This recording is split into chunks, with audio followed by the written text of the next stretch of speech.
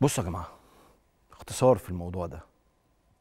الناس اللي بتدير نادي الزمالك دلوقتي ناس محترمة جدا عن اقتناع جدا بيهم بصراحة.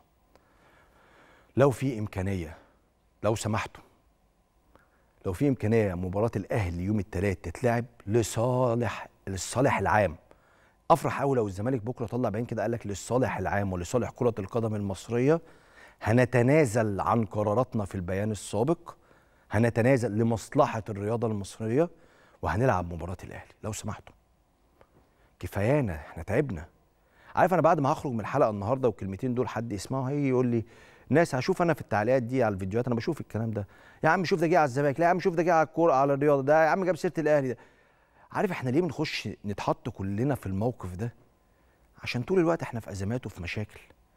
أنا أحب أنا شخصيا كده أحب أجي أتكلم في الكورة بس.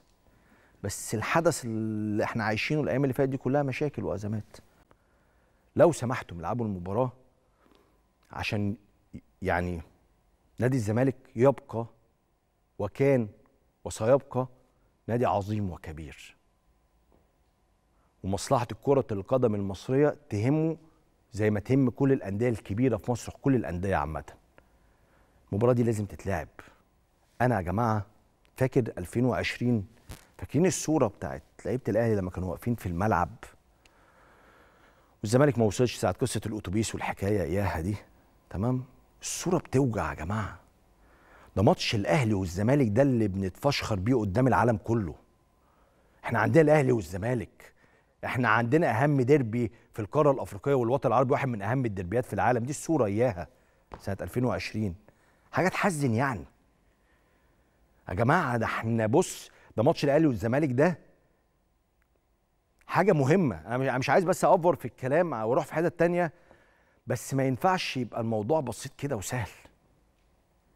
لو سمحتوا بص يا نادي يا زمالك بص يا نادي يا أهلي بص يا اسماعيلي يا مصر يا اتحاد. إحنا كلنا بنعاني من نظام الكورة في مصر.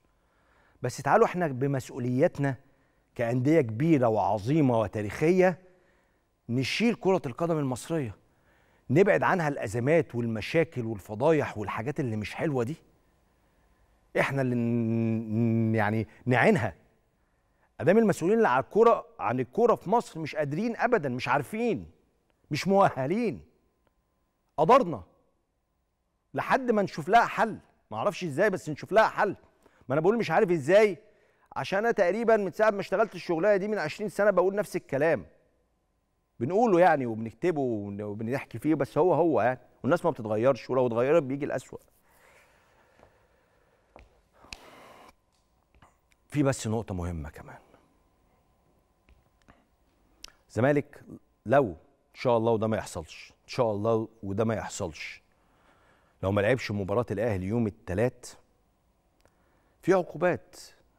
يعتبر ده اسمه انسحاب للأسف يعني. ففي عقوبات. العقوبات لو معانا شباب العقوبات دي تعالوا نعرضها بحيث إن إحنا نوضح برضو الصورة هتبقى عاملة إزاي. لو اعتبر لو اعتبر فريق منسحبا واستكمل المسابقة تطبق عليه الجزاءات التالية توقع عليه الغرامات المالية اعتبار نتيجة المباراة المباراه المنسحب فيها مهزوما اثنين لا شيء خصم عدد ثلاث نقاط من رصيده بخلاف المباراة التي اعتبر فيها مهزوما وإعادة ترتيب الفريق ضمن جدول المسابقة. معاقبة كل من له الصلة بقرار الانسحاب طبقا لتقرير الحكم والمراقبين ولإدارة المسابقة الحق في الاستعانة بما تراه في هذا الشأن. طيب المادة 52 إذا اعتبر فريق منسحبا ولم يستكمل أو لم يستكمل المسابقة توقع عليه غرامة مالية طبقا لفئات المسابقة إذا كان انسحابه في الدور الأول تلغى نتائج مبارياته السابقة يعتبر كأنه لم يشارك في المباريات إذا كان انسحابه في الدور الثاني تبقى نتائج مبارياته كما هي في الدور الأول بالنسبة للفرق الأخرى تلغى نتائج مبارياته التي شارك فيها في الدور الثاني وكأنه لم يشارك في الدور الثاني إذا كان الانسحاب في آخر مباراة في المسابقة يعتبر مهزوما في المباراة وتوقع غرامة ماليه تحددها إدارة المسابقة وهبوطه للدرجة الأدنى وتختص لجنة شؤون اللاعبين بالنظر في قيد لاعبي النادي المنسحب. طيب إن شاء الله ما نوصلش للكلام ده خالص. إحنا عايشين بالأهلي والزمالك وعايشين بالزمالك والأهلي في كرة القدم المصرية. نحبهم ونحترمهم وعايزين مصلحتهم وعايزين دعمهم وعايزين مساندهم بما لا يتعارض بمصلحة كرة القدم المصرية.